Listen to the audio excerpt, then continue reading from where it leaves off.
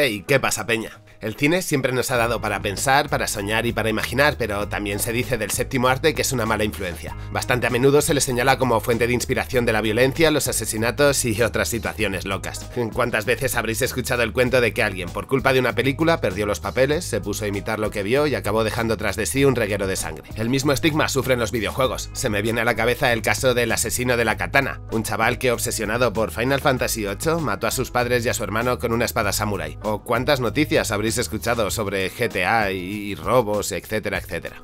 A esto se le llama fenómeno copycat, o bueno, lo que de toda la vida se conoce como efecto contagio o efecto imitación. En fin, que en este especial de Halloween vamos a repasar casos sobre Peña que cuando vio una peli se le cruzaron los cables. Antes de nada, una aclaración. No es raro que los medios de comunicación, tras un comentario desafortunado del verdugo, o simplemente gracias a un momento de iluminación del periodista de turno, preparen un titular confuso y sensacionalista donde se hace el ejercicio de relacionar cultura con perder los papeles. Y no solo la prensa usa el tema de que los elementos culturales condicionen a la ciudadanía para volverse locos, sino que dentro del sistema judicial se usa como estrategia. No sé si habéis oído hablar de lo que se conoce en Estados Unidos como la defensa matriz. Es una fórmula que practican algunos abogados defensores para preparar su coartada en un juicio. Consiste en indicar que el acusado cometió delito porque creyó, mientras cometía sus actos, que estaba viviendo en una simulación por ordenador y no en el mundo real. Vivía en Matrix.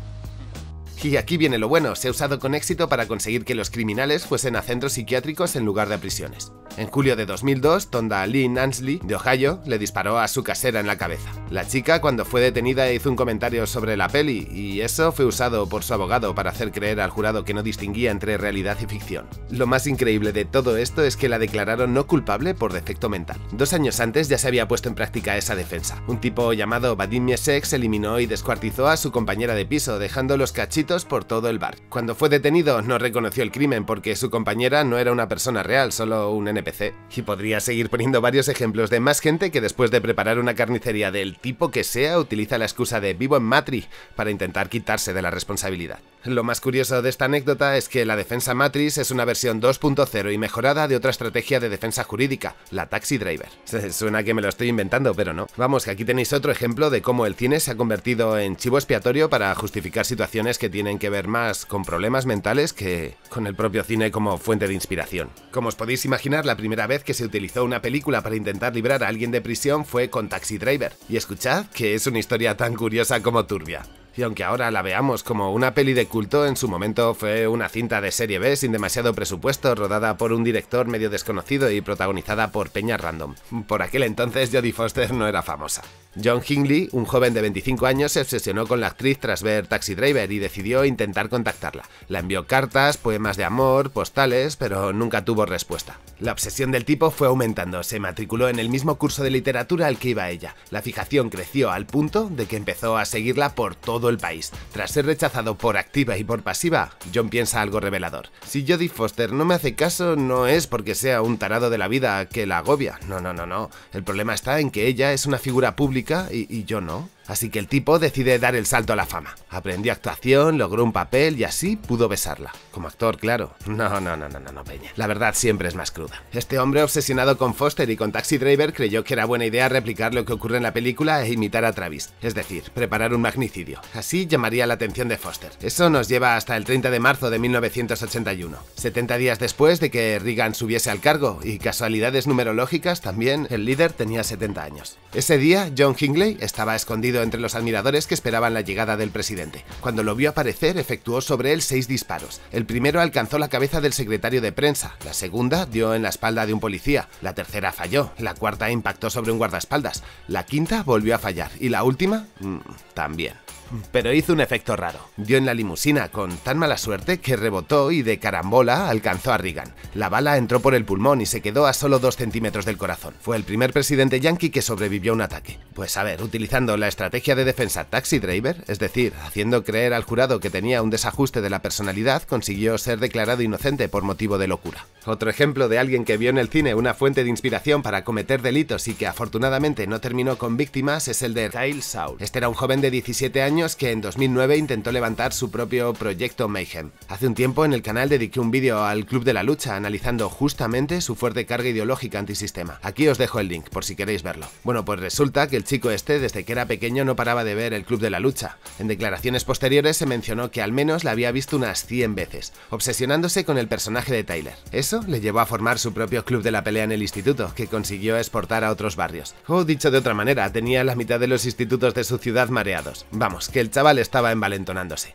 Otra cosa que sucede en el metraje es que se explota una cafetería. En teoría iba a ser un Starbucks, pero la empresa se negó a mostrar cómo destruyen su propiedad, así que a cambio les dieron unos vasitos y mucha pasta para que en total apareciese 11 veces el logo de la compañía a lo largo de toda la peli. En fin, que Kate Shaw, aprovechando los conocimientos que se vierten en el libro y un poco de Google, consiguió preparar su propia bomba casera con pólvora sacada de fuegos artificiales. Una vez construida, se dirigió en Nueva York a un Starbucks, de noche y activó el dispositivo, que por supuesto explotó destruyendo la fachada. El chaval no se tapó bien para hacer la acción y las cámaras de seguridad ayudaron a su identificación. Cuando la policía entró en su casa descubrió un DVD pirata con la cinta y varios pósters pegados en la pared relacionados con el tema. Finalmente fue condenado a tres años y medio de prisión. Respecto a su sentencia se abrió una pequeña polémica. Muchos consideraron que era demasiado tiempo para un atentado sin víctimas mortales, insinuando que el 11 de septiembre había cambiado las normas del juego para volverlas más estrictas e injustas. Tal vez uno de los casos más salvajes de Peña que tras ver una peli tienen un subidón de azúcar muy tontorrón es el que se conoce como La Masacre de Aurora o también La Masacre de Batman. Este segundo título os mola más, ¿eh?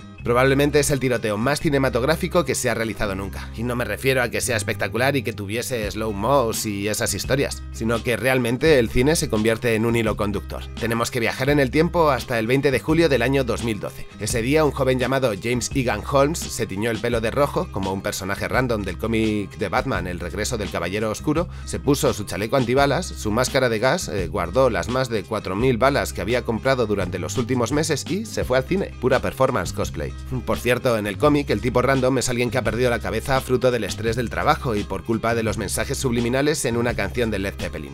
Total, que en el dibujo ese personaje irrumpe en el cine segando la vida de unos cuantos espectadores. Pues algo así es lo que hace James. Compró una entrada para El Caballero Oscuro, la leyenda renace. Entró en la sala y vació sus cargadores sobre los espectadores, mató a 12 personas e hirió a otras 70. Su caso es bastante particular. Era un chico exitoso, primero de la promoción y becado para estudiar en una universidad prestigiosa. No se sabe qué es lo que le hizo crack en la cabeza, pero por cómo se comportó nos dejó una buena pista. Estrés y presión social. Con un coeficiente intelectual de 123 no puedo evitar recordar a una bomber, genios que se revuelven contra la sociedad. Por cierto, dediqué un vídeo a los villanos en Batman, ideal para entender mejor por qué decidió esa película para liar la parda aunque si hay una cinta que ha inspirado masacres, esa es Scream. Para empezar, no sé si estáis al tanto, pero la historia que acompaña a este metraje está basada en hechos reales. Durante el verano de 1990, un joven estuvo atemorizando, violando y matando a jóvenes en un campus universitario. El cuento es perverso porque posó con los cuerpos, hizo fotos y en definitiva le dio una perspectiva artística a sus fechorías. Es tan turbio todo que Wes Craven encontró en Danny Harold Rowling, que es su nombre, la fuente de inspiración ideal para crear el personaje de Ghostface.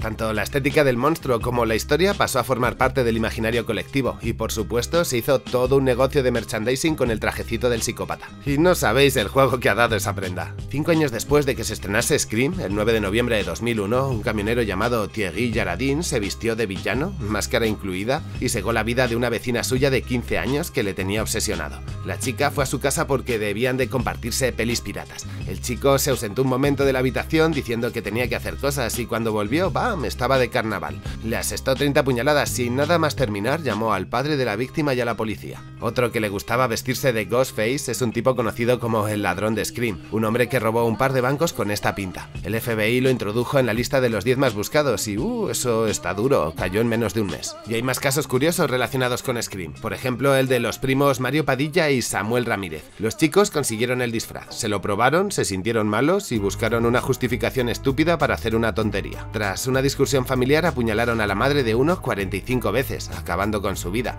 Tenían solo 14 y 16 6 años. Más o menos con esa misma edad, Daniel Hill, de 14, y Robert Faller, de 15, consiguieron también ellos el mítico disfraz con la máscara. Quedaron con un amiguito del cole en un parque y le propinaron 18 puñaladas, dejándolo tirado en un balneario durante más de 40 horas hasta que un hombre lo localizó. Lo más sorprendente es que el crío aún estaba vivo y que sobrevivió. Cuando por fin supieron quiénes habían sido y registraron las pertenencias de los verdugos, encontraron dibujos de la peli. Eso sirvió a la defensa que usó el argumento de que Ghostface les estaba mandando mensajes para que actuasen.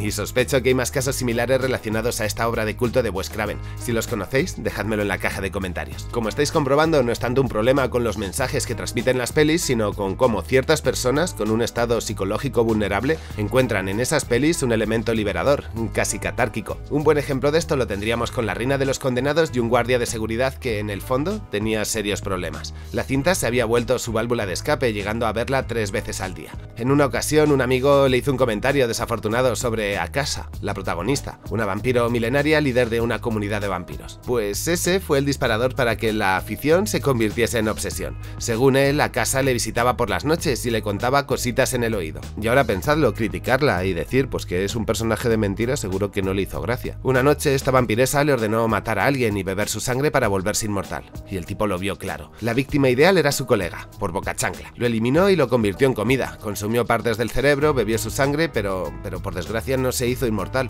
A los pocos meses de ser detenido apareció muerto en su celda. Aunque si hay una peli con mala publicidad, esa es Asesinos Natos. Si os pasáis por Wikipedia podéis encontrar al menos 13 casos donde intentan relacionar homicidios a la película. Y la verdad es que los medios de comunicación lo vieron claro. Allá donde hubo un niño que se quitase a sus padres del medio o un tiroteo en una escuela, estaba la prensa señalando a la peli. Bien es cierto que en ocasiones sí que se cometieron delitos con la cinta como fuente de inspiración. Es el caso de Sarah Edmondson y de Que tras ver la peli, eran novios por supuesto, se motivaron al punto de recrear alguna que otra escena de la película. Más en concreto cuando acaban con el dependiente en una gasolinera. No fue la única persona que se quitaron del medio. El gerente de una fábrica de algodón cayó bajo su fuego. Como os mencioné y supongo que estaréis viendo ahora en pantalla, cada vez que un menor durante los años 90 y principios de los 2000 tomaba un arma y salía de carnicería, los medios se encargaban de recordar este metraje. Y es fácil asociarlo. La peli, al igual que el GTA, Resident Evil o Pulp Fiction, formaron parte de la cultura popular de una generación.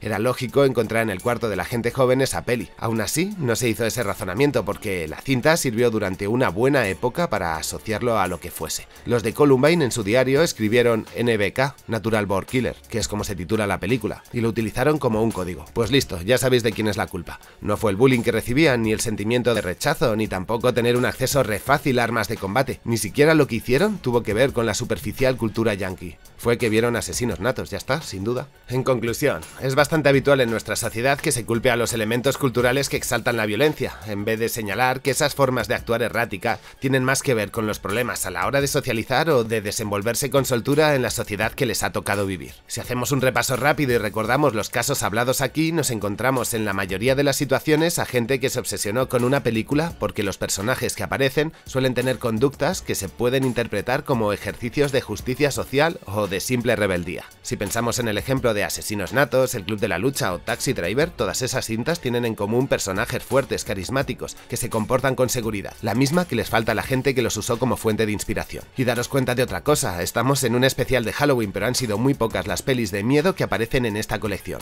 Y es que en ocasiones lo que nos marca y lo que nos genera pavor está en lo social, en lo cotidiano, y tal vez por eso lo que funciona como disparador y hace que la gente pase a la acción, es decir, lo que les vuela la cabeza no suelen ser historias de asesinos en series sádicos y sin escrúpulos. Y es que al vivir en una sociedad tan enferma, lo que consigue remover el alma de la gente y llevar las situaciones límites son esas películas donde la gente se quita la presión a golpe de violencia. Normalmente se señala el terror, el gore o lo extremadamente violento como elementos culturales peligrosos que te pueden hacer perder los papeles. Cuando, si repasamos bien las cosas, eh, es posible que quiebre más mentes el cine que manda un mensaje contestatario. Por otro lado, pese a que el disparador para toda la gente de la que hemos hablado en el vídeo era el cine y las películas, no creo que fuese el cine el auténtico desencadenante. Las cintas suelen servir como un espejo donde mirarse, desde el que somos capaces de situarnos en el mundo. Y en ocasiones llegamos a reflexionar que el sitio que ocupamos es una mierda. Y no es tan descabellado que la gente acabe pasando la acción usando como fuente de inspiración una película. Ahí tenemos el tipo que explotó el Starbucks. Por otro lado, también es cierto que a veces simplemente es una cuestión de obsesión. Vio 100 veces La Reina de los Condenados y acabó creyéndose un vampiro. Sea como fuere, nunca será culpa de la cultura, sino de la persona que recibe y reinterpreta los mensajes. Es mucho más fácil señalar a una película como culpable de las acciones erráticas de una persona